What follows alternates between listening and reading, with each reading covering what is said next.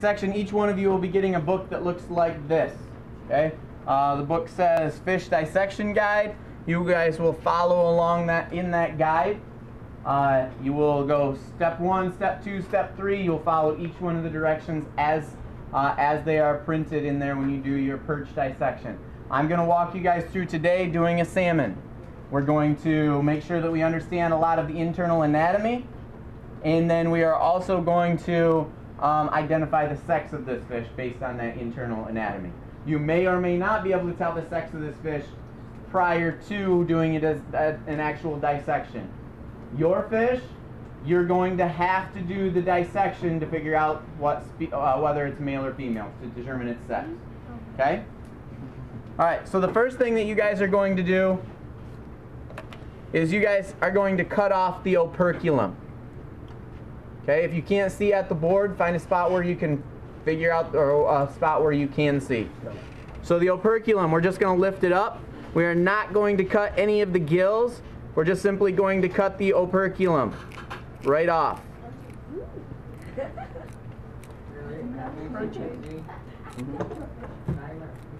there bones in there? It's just kind of hard. Okay? So the operculum is removed. We can see behind the operculum. What is right directly behind the operculum? Gills. Gills. What are what is the job of the gills? To breathe, breathe. Yeah, breathe it, bring in oxygen. They function much like the lungs that you have in your body. Okay? The fish takes in water through the mouth. The water that comes in through the mouth is then passed over top of the gills. Oxygen is collected. Oxygenated blood is then pumped to the rest of the body. Okay? So we can identify the gills here. Are we good so far? Yeah. Place it in that the then? pan, it'll blow the smell out. Yes, sir. Mark. We we uh, yesterday marked them out, marked different external external parts. Just need to open it and strong it. Okay, the next thing we need to do in order to uh, properly enter the internal cavity of our fish, we are going to cut across the bottom. And we're going to be very, very gentle cutting across the ventral side of the fish. What happens if I just jam my scalpel in there? Oh, like damn stuff. Yeah, I'm gonna cut stuff. I do not want to do that, okay? You need to be very gentle and very ginger about how you are cutting with the knife, okay? If your knife is not sharp enough, see me, we can find other scalpels that are probably a little bit sharper.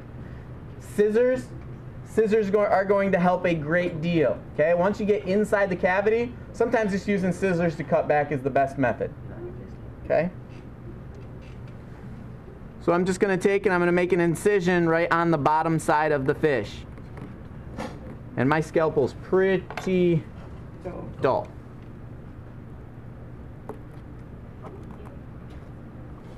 Okay, now that I've made an incision, I've gotten just through the muscle tissue.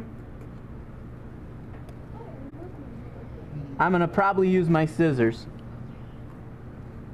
Okay, so I felt my scalpel go through. And I'm just going to take my scissors and I'm just going to cut right down the ventral side of the fish. Scissors are dull too. Most things I use is surgery.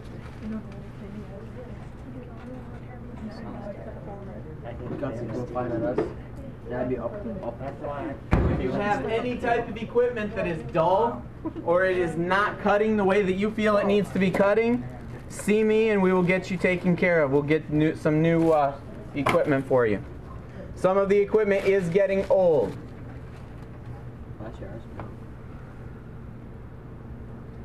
Your fish will not have any blood in it. The reason that I'm doing this one is because it does have blood. Anybody know why it would be a big deal for you not to be in contact with blood? Yes, ma'am. It gives you like diseases Yeah. blood carries. Blood carries disease. Okay, so your fish will not have any blood in it, mostly because it's put in formaldehyde. And I'm going to make my incision all the way up to right behind uh, the pectoral fin. Right down here at the pelvic fin, it might be a little bit tricky. Uh, when you cut, there's actually some bones you might have to cut through. Just be gentle as you cut through them.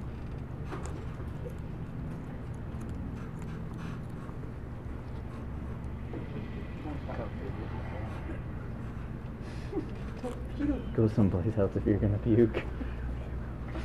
Doing. You better stay far away.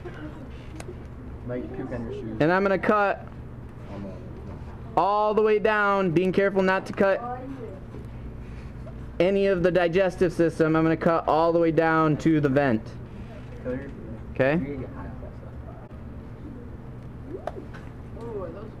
Okay, once I get down to the vent, I'm going to make two lateral incisions towards the dorsal side. Lateral incisions towards the dorsal side. So I'm going to go right behind the um, the fin, and I'm going to work my way right up the chest cavity.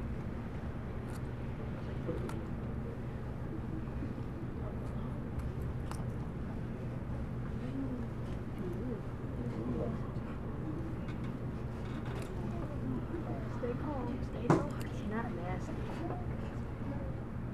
Pretty sweet. And the same thing over here. Just going to cut up. Is that an egg right there? So you can like fold Yeah. it. She wants Is that an egg? Yeah, there's one more It's pretty cold. Oh my gosh. And then I'm just gonna cut right along the lateral line, and I'm gonna take the uh, I'm gonna take the entire flap right off. That egg's alive. There's eggs. Probably dead. What if that's where we got our eggs? Dead. But what if that's what if that's where we got our eggs?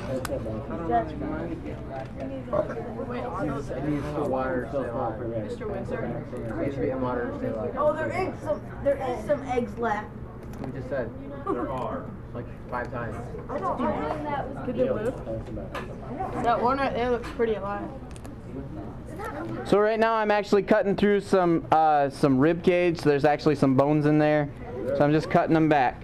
We want Okay. fried salmon. We should smoke that. We should. Like, that custodian's gonna have a fun job today. Yeah. All right, now I can see the internal parts of my fish. Okay? In order to see the heart, you may have to take your scissors and you may have to cut up underneath the gills and you might have to cut this entire bottom section out right here. Okay? So I'm going to show you what that incision means. It just means I'm going to continue cutting all the way up underneath the gills. So I just keep going. Okay? This incision down here would continue to go up towards the mouth. Do the other hours have a fish? Yeah. Yeah, How do you out- catch out so there. many fish? Wait, You go catch them when they're spawning. when are we doing our section? Hopefully starting tomorrow. You serious? Spring. Do what, what, what we gotta do is let them start spraying. Wait, what is starting tomorrow? Our Fish section. So are we getting our groups today? Oh, Maybe. But like, how do you catch so many fish? Okay, so I'm just slowly cutting it out. I'm being careful that I don't hit anything. Okay, now I've completely removed that bone ti- and that tissue. So now I can see the heart right behind the gills. Okay? Looking at my fish, can I de- identify its sex? The female has eggs. It's a female because it has eggs. Very good. One, There's the eggs in it. flash have ovaries. If you guys would like here in just a little in a minute, you guys can come up here and you can observe the eggs. You now have seen how we go about actually cutting the fish so that then we can remove any parts to see the internal organs. Okay? I am not going to go through each one of the internal organs with you right now. You guys are going to be responsible for determining those on your own. If you need help with them, I am here to assist. Mr. Sherrick is here to assist. Okay?